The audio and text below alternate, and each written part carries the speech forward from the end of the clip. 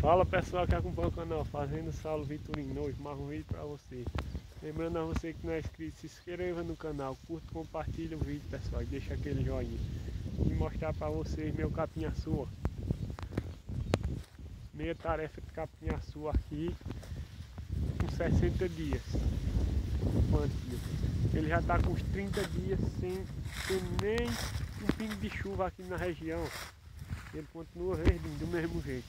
Vê só o tamanho dele.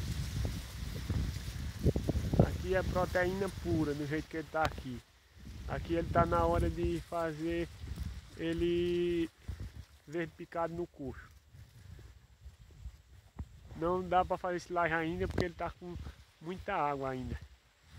Vê só, pessoal. Dá uma volta aqui dentro para vocês terem uma ideia aí. Tanto de alimento que tem numa pequena área. Meia tarefa de capim, ó. Dá mil metros quadrados de capim. Agora vê só. O tanto de alimento que tem. Na minha opinião é o alimento mais barato que temos hoje.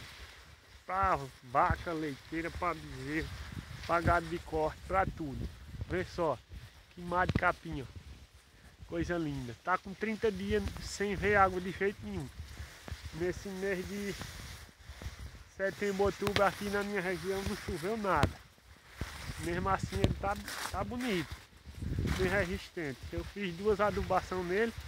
Plantei ele com uma adubação de, de fundação. E fiz ureia nele com 20 dias de nascido. Vê só o mar de capim, ó. Coisa linda. Que é o alimento mais barato que nós temos hoje, chama-se capim. Porque qualquer outro alimento que você for produzir hoje é caro. O custo é muito. E nenhum um custo de capim você tem. Muita gente está dizendo que o capim açúcar não presta. Depende dos seus animais, depende de muita coisa. Sei que na, pra mim aqui está sendo minha salvação. Eu estou com uma área maior ali, está com 70 dias que foi tirado, já cortado, né? Que ele já foi plantado no ano passado. Vamos começar a tirar essa semana e vou gravar um vídeo para vocês, o tamanho que ele está. Ele está com uns 4 metros de altura, muita ração, muita ração. Aí o cabo tem que ver isso tanto que o cabo vai querer produzir, porque hoje em dia um, um hectare de milho é muito caro para produzir, um hectare de capim-açu fica muito mais em conta.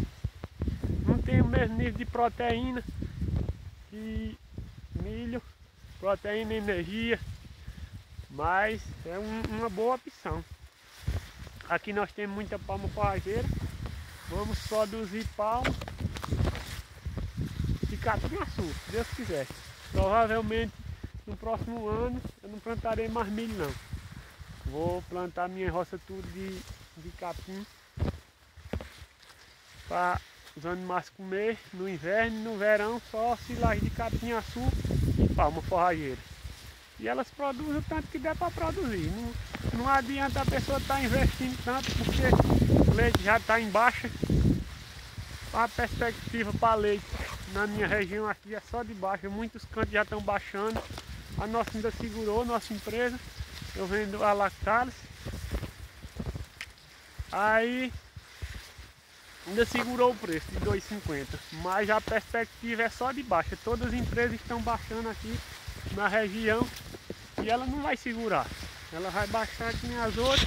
Aí a gente para produzir um, um, uma tonelada de, de silagem de milho é muito caro é enviar para a pecuária leiteira do jeito que está. A pessoa trabalha muito, gasta muito e não, e não recompensa, porque está muito, ficando muito barato o leite, o custo de leite vai chegar a dois reais aí e o custo de produção a mais de dois reais. Como é que a pessoa vai, vai sobreviver na atividade? Aí a última alternativa que nós estamos achando aqui na fazenda é plantar capinhaçu e palma e pronto. Não vou plantar milho mais. Já estou com isso na minha cabeça que não adianta. Porque quanto mais você investe, mais fica com dinheiro parado, mais aumenta suas dívidas. E aquilo é a mesma. Passa dois meses em alta o leite e, e dez meses embaixo. Aí como é que a pessoa vai aguentar? Não tem como. Não tem como, não tem como, não tem como. A minha opinião é essa. Quem tiver opinião contrária, que diga aí. Agora a minha realmente é essa. Olha aí, ó. Filmado de capinha aí, ó. Tá vendo? Esse daí é o alimento mais barato que nós temos na propriedade hoje. Eu gastei aqui para plantar e fazer adubação numa área desse tamanho aqui, ó. Eu não gastei nem, nem mil reais para plantar, para cortar, plantar, fazer adubação. Já foi dado duas limpas nele. O mato invasou. Não gastei nem mil reais. Agora vai plantar uma roça de milho desse tamanho aqui que você vai ver. O tanto que você vai gastar. Eu produzi 100 toneladas de silagem de milho aqui na fazenda. E saiu pra mim a 350 reais. É brincadeira? É caro demais, meu pessoal. É um negócio que não está tendo lucratividade não. Na região que leite tem preço, tá certo. Agora nossa, na nossa região aqui, que os, os compradores de leite servem para matar o produtor, não adianta não. É produzir o que tiver de mais barato e a vaca deu o que puder dar. Não adianta não, tá forçando para ela dar mais do que eu que pode não. Pessoal, era só isso, era só mais um desabafo aqui. Valeu, que Deus abençoe a todos. Até o próximo vídeo, se Deus quiser.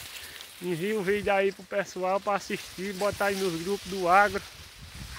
Para compartilhar meu vídeo. Pra sempre nós estar tá postando vídeo aqui. Valeu pessoal!